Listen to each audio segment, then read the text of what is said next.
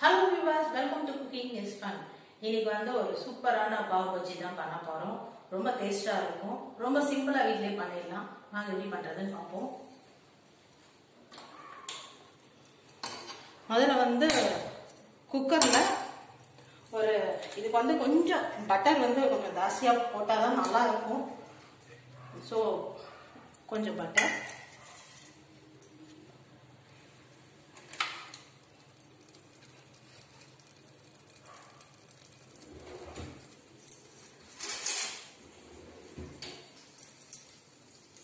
So butter melt ஆகிட்டு இருக்கிறதுக்குள்ள நம்ம வந்து இந்த தக்காளி இது வந்து ரெண்டு மீடியம் சைஸ் தக்காளி.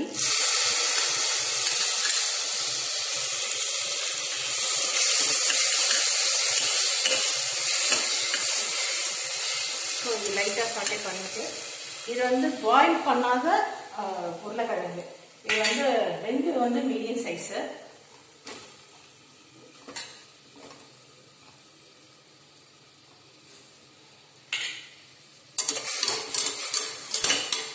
ஸோ இதுவும் லைட்டாக வதக்கிடலாம் நான் வந்து இது வந்து காஞ்ச பட்டாணி ஊற வச்சு வச்சுருக்கேன்.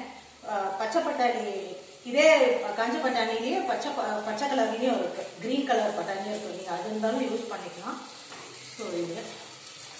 ரூம் பாயில் பண்ணாதது தானே?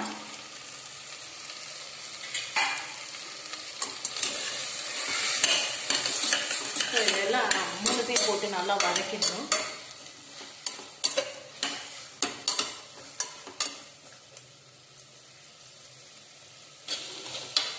இது வதங்கிட்டு இருக்கும் போதே நம்ம வந்து இது கூட ஒரு ஆஃப் ஸ்பூன்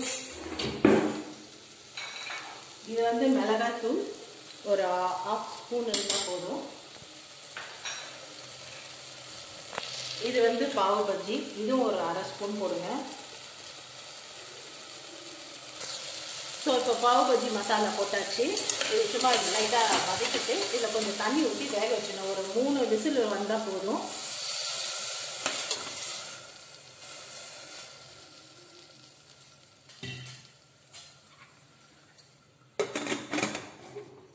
இது மூணு விசில் வரட்டும்.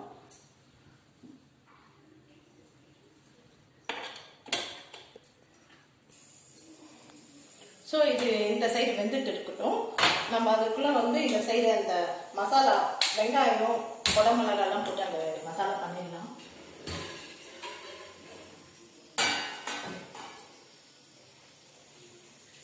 குக்கர் இந்த பக்கம் தான் போடணுமா?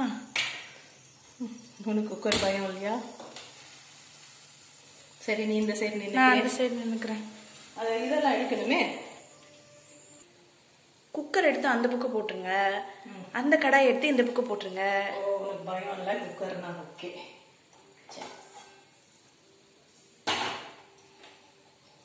ஓகேவா ஓகே. இப்போ வந்து ரெண்டு ஸ்பூன் பட்டர் ஸ்டீலில் டக்குன்னு இதாகிடுச்சு ஸோ இது வந்து ஒரு பெரிய சைஸ் ஆனியன் சின்னதாக கட் பண்ணி வச்சுருக்கேன்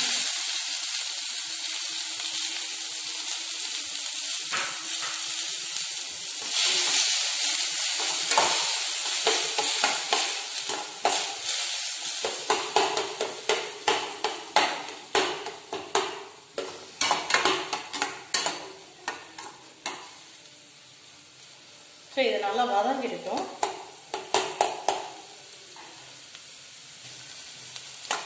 சரி வெங்காயம் நல்லா வதங்கிடுச்சு இப்போ வந்து குடமிளகாய்.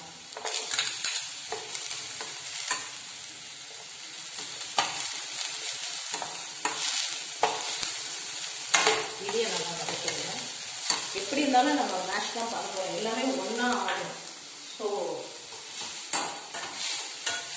கொஞ்சம் நேரம் தண்ணி ஊற்றியும் வேக வைக்கிறோம் அதனால லைட்டாக வதங்கினா கூட ஓகே தான் இப்போ வந்து இதை நடுவில் கொஞ்சம் இது பண்ணிட்டு வெண்ணெய்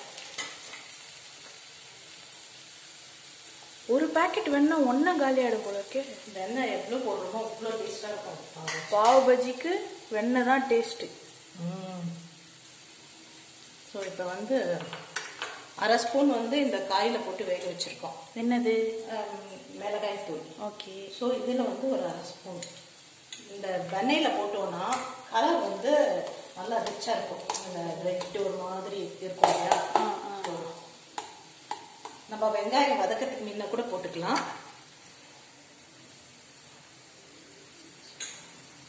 இது ஒரு அரை ஸ்பூன். நம்ம இதில் பாவ் பஜ்ஜி மசாலா ஒரு அரை ஸ்பூன் போட்டிருக்கோம். ஸோ இதில் வந்து ஒரு ஸ்பூன்.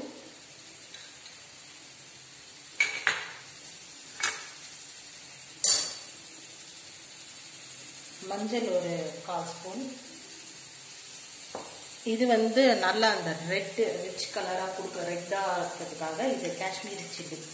இது ஒரு அரை ஸ்பூன்.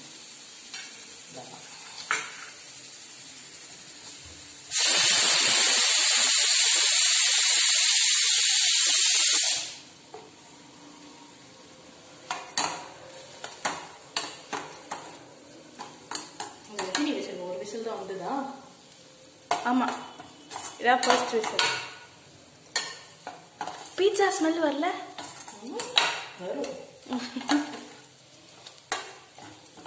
இது நல்லா வதக்கியாச்சு. இப்போ வந்து கொஞ்சம் தண்ணி ஊற்றி நல்லா வேக வச்சிடலாம்.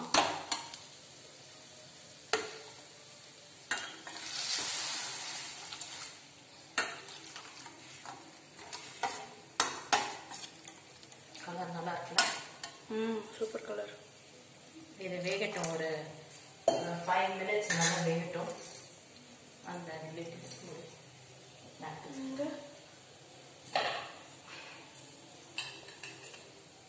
ஃபைவ் மினிட்ஸ் ஆமாம் ஃபைவ் மினிட்ஸ் வேகட்டும். இது குக்கரோட ப்ரெஷர்லாம் அடங்கிடுச்சு.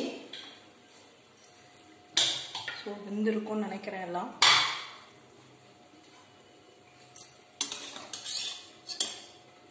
ஸோ சூப்பராக வந்திருப்பேன் ம்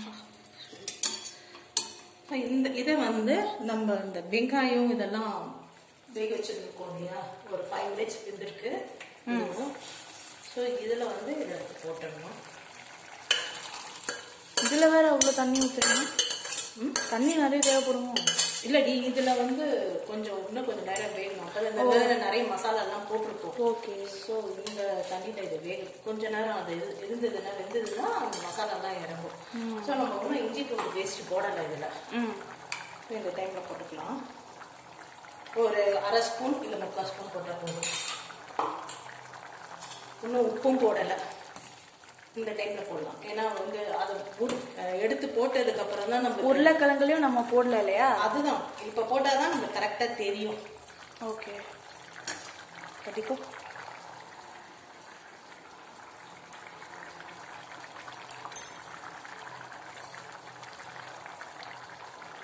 தேவையான அளவுக்கு உப்பு.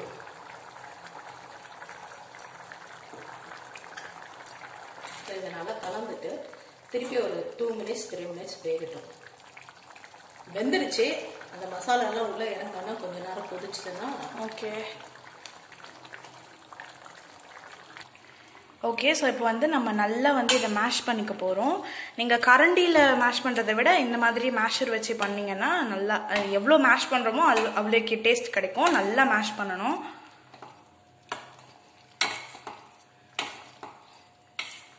ஆஷர் இல்லைன்னா இது வந்து மத்து இருக்கும். மத்து மத்து பெருசாக இருக்காது? ஆமாங்க இப்படி வச்சுட்டு பண்ண வேண்டியது கீழே இறக்கி வச்சுட்டு கூட நம்ம பண்ணலாம்ல. ஓகே. நல்லா வெந்திருந்தா நம்ம இந்த ஜல்லி கரண்டிலேயே கூட மேஷ் பண்ணலாம். ஓகே.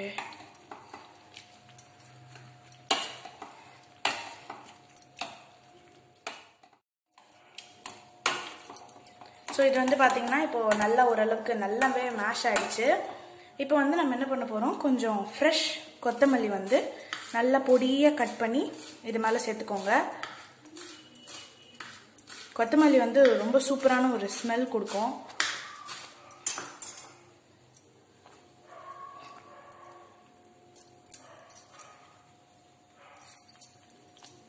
இது எடுத்துருங்களா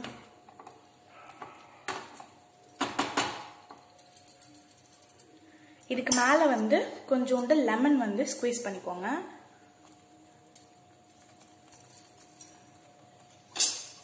ஸோ அவ்வளோதான் நமக்கு வந்து இந்த பாவு பாஜியோட பஜ்ஜி வந்து ரெடி ஆயிடுச்சு. இப்போ வந்து நம்ம அந்த பாவு தான் வந்து ரெடி பண்ண போகிறோம் ஸோ வந்து இப்போ பாவு வந்து ரெடி பண்ணுறதுக்கு இது வந்து பாவு பாஜி பன்னு இது வாங்கிக்கிட்டு இந்த பாவை வந்து சென்டரில் வந்து கட் பண்ணிக்கோங்க. இந்த மாதிரி சென்டரில் வந்து கட் பண்ணிக்கோங்க. ஃபுல்லாக கட் பண்ணாதீங்க. பின்னாடி வந் பின்னாடி வந்து லைட்டாக அப்படியே அது ஜாயிண்ட்டாகவே இருக்கணும். இப்போ வந்து இந்த மாதிரி ஒரு தோசை கல்லில் வந்து நல்லா ஒரு பெரிய ஸ்பூ ஸ்பூன் ஃபுல் ஆஃப் பட்டர் வந்து ஆட் பண்ணிக்கோங்க. பட்டர் நல்லா மெல்ட் ஆகட்டும். இதில் வந்து இது இந்த சில்லி காஷ்மீர் சில்லி வந்து இந்த பட்டரில் கொஞ்சம் போட்டுருங்க. அதுக்கப்புறம் கொஞ்சோண்டு பாவ் பஜ்ஜி மசாலா அதாவது ஒரு டீஸ்பூன் அளவுக்கு போட்டுருங்க. இது கொஞ்சம் லைட்டாக கலந்து விட்டுட்டு அதில் வந்து கொஞ்சோண்டு கொத்தமல்லி வந்து போட்டுருங்க. போட்டுட்டு இதில் வந்து இந்த மாதிரி பாவை ஓப்பன் பண்ணி அதை வச்சு நல்லா இந்த மாதிரி தேய்ச்சிக்கோங்க. ஸோ அந்த மசாலா கொத்தமல்லி எல்லாமே வந்து பாவோட இன்சைடில் வந்து நல்லா ஸ்டிக் ஆகிக்கும் ஸோ பார்த்தீங்கன்னா இந்த மாதிரி நல்லா சூப்பராக ஸ்டிக் ஆகிடுச்சு அவ்வளோதான் பார்த்தீங்கன்னா பாவு வந்து ரெடி ஆகிடுச்சு ஓகே ஸோ இப்போ வந்து நம்ம வந்து நம்ம பண்ண ரெடி பண்ண அந்த கிரேவி பா பாஜியை வந்து இது கூட வச்சுக்கலாம்.